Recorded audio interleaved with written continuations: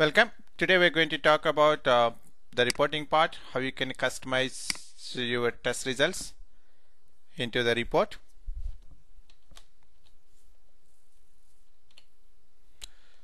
So basically QTP uh, supports a reporter object and that has different methods.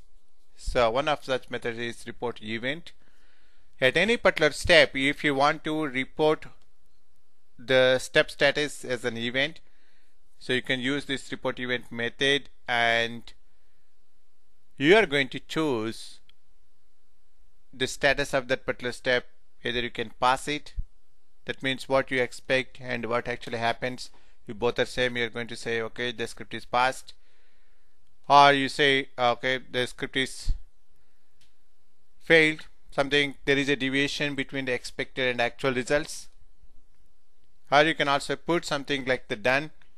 That means if the particular transaction is done or you are to read some data from the database and you got the data correctly then you say okay the process is done successfully.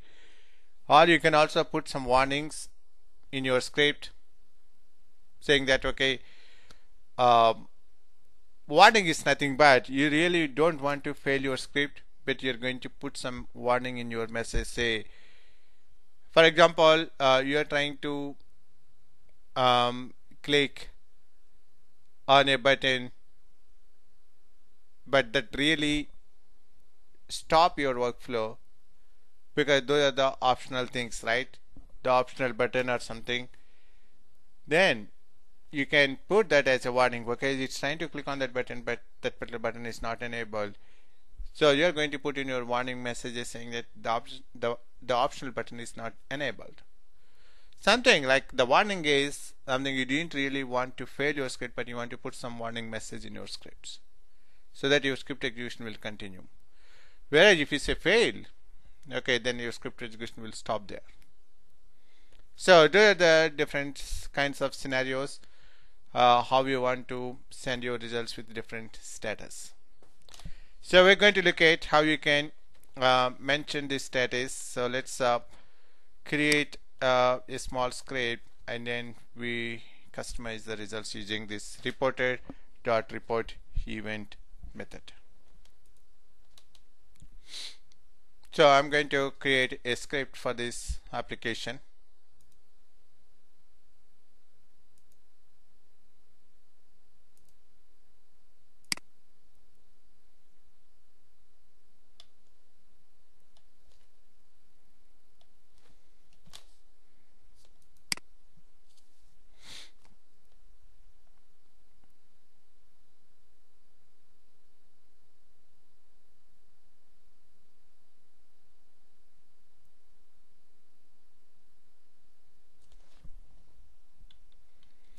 So here um, just I want to put some checks right?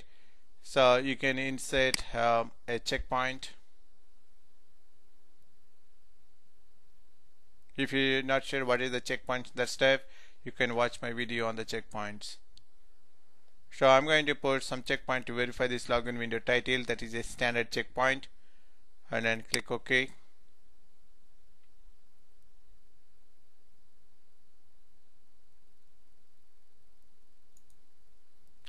so you got this window.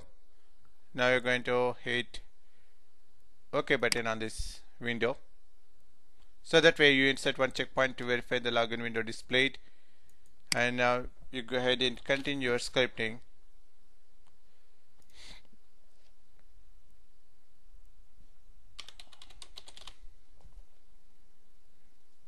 And then you you can also insert one more checkpoint for this bitmap. Say insert checkpoint and then bitmap checkpoint. So you're going to um, click on top of this image and then click OK.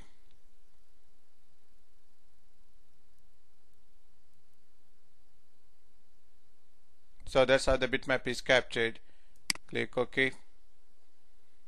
And you're going to click uh, OK button on this login window.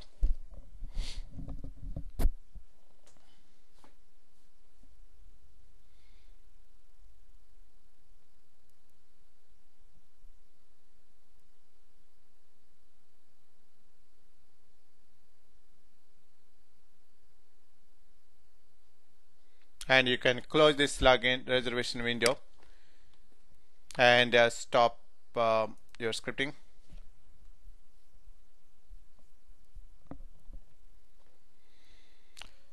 okay so this is how the script is recorded. And now you're going to look at how you can customize your report. Say for example this is where you're going to verify the login window displayed or not right? So you're going to put some if else conditions here. Oops, sorry. I put the wrong place. So let's go to this. So you're going to put if. And then this is the checkpoint you're going to do. You're going to open bracket here and then end bracket close bracket and then put then statement right? If then we are going to put now reporter is an object dot then it's going to give you the methods. So you're going to select report event method and then now you're going to say hit your space bar then it's going to give you four different status. Pass fail done and warning. So if this particular checkpoint that means the login is displayed properly then you're going to say pass this particular step comma because there are the different arguments for this report event method. The first argument is the status and the second argument is the step name. You're going to put the step name is login and now we are going to put the details of your step. So you're going to say login successful.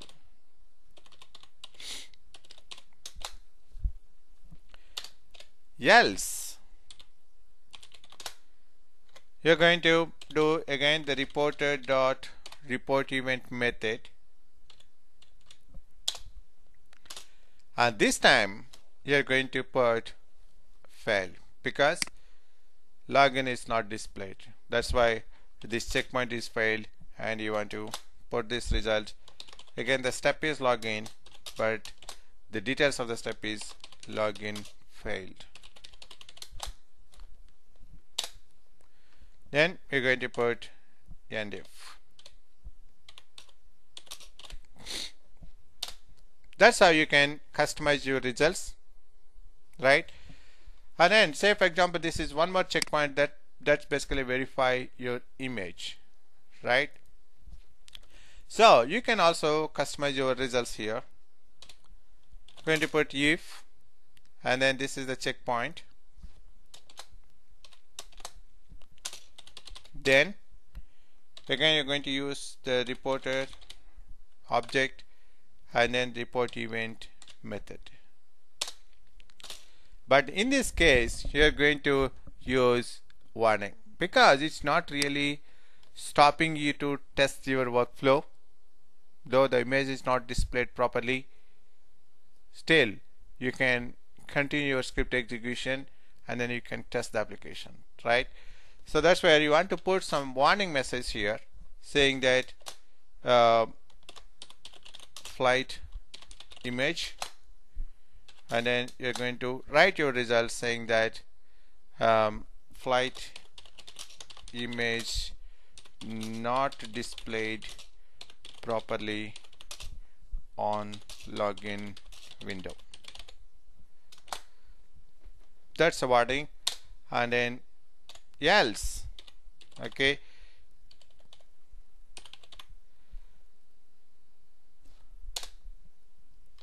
Oh sorry here basically like this is MIC pass.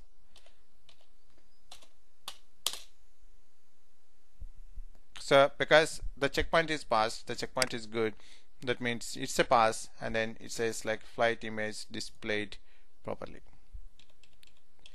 Whereas in the else statement, you're going to put the warning reporter dot report event. Now we are going to put MIC warning because else part contains that means this checkpoint is failed. So now we are going to put MIC warning here and the step is again the flight image and now we're going to say the flight image not displayed properly on login window.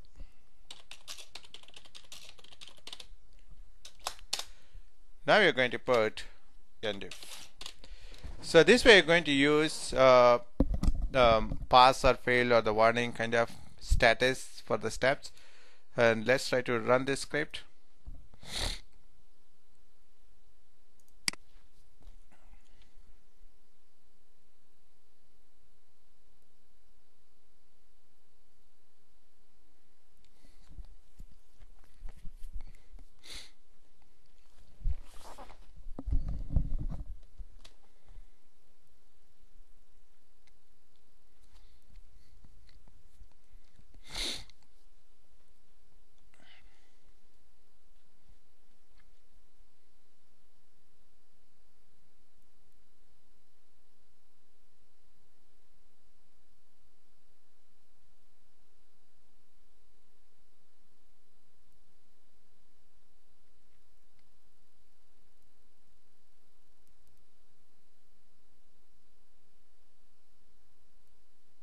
because in this case it always works because the flight image and everything is good. But in case if the flight image is not displayed then it's going to put simply warning but your script execution will continue further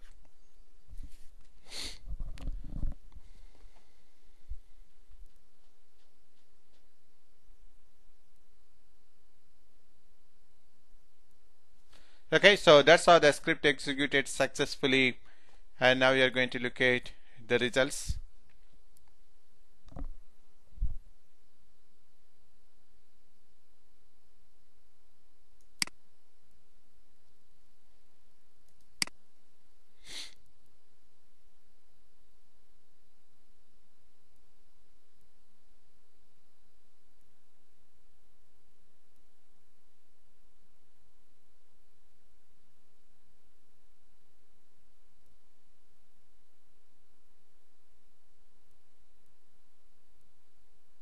okay so these are the results.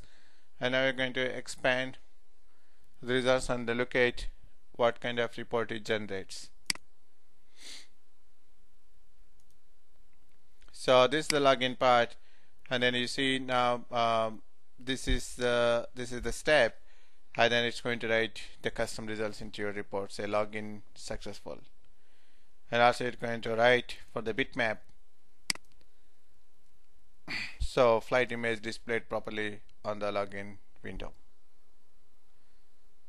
So this way you can um, customize your results using this reporter object and report event method. Okay. So hope you enjoyed this uh, video. And then keep watch my videos. I'm going to post some more videos on some advanced topics.